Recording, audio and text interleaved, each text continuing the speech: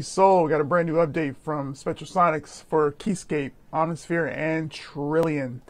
Uh, it's called Flow Capture, just like you see here, Flow Capture.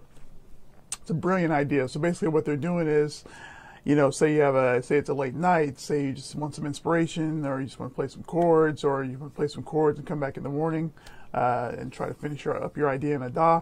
You don't need a DAW to do that anymore. Right now, we got this new feature called Flow Capture. So what it is I pulled up a Keyscape here, my favorite patch, the LA Custom Rhodes. You can change any settings here that you want to, and it'll keep those settings. I'll show you that, show you that a little later. But all you have to do is press this flow capture. You see it lights up red, so I'm going to play something here right quick.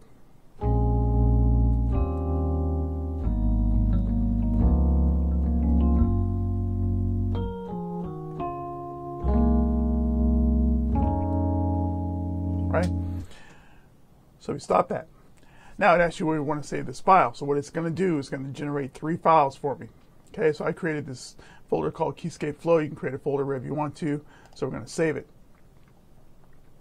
So what it did, what it did is it gave me three different files. Okay, it gave me a WAV file. It gave me the MIDI file of everything I just played. So I get the WAV, I get the MIDI, and this keyscape is to bring up the exact patch. So if I change a bunch of settings here, when I go inside of my DAW, and drag and drop this into Keyscape, it'll keep every setting that I had here when I created it. So in other words, I just that's why they call it flow capture, right? Because it captured all of my flow. Uh, so I'm going to show you what that looks like in the DAW now. Okay, so now we're back in our DAW. So I just pulled up uh, my, my DAW here. So now they give you the audio file. Here, I can drag this wave in.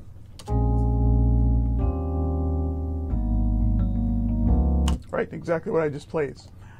The magic is you also have the MIDI file, right? So I can take this MIDI file, drop it in my instance of Keyscape. Now, as I pull up, now as I pull up my Keyscape, as I pull up my Keyscape here, this .keyscape file I just drag right in the Keyscape. Okay, I click OK brings up the exact patch that I was working with with the exact settings I was working with, right? That's the beauty of this thing. And now that I have the MIDI in there, I can just play this MIDI.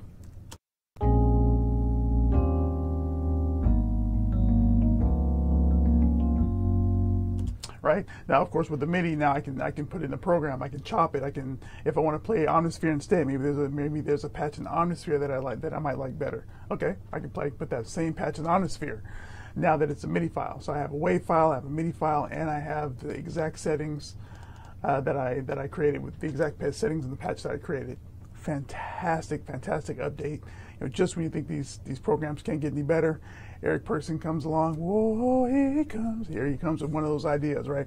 So, shout out to Eric Persing and the crew. This is a great update you know, I, I, know I myself, you know, I'm up sometimes at, you know, midnight and I'm like, oh, I got an idea. I don't feel like booting up my DAW. I'll just do it in the morning. Now I don't have to do that. Now I can get this flow captured and come and edit it inside of my DAW, just like you saw here.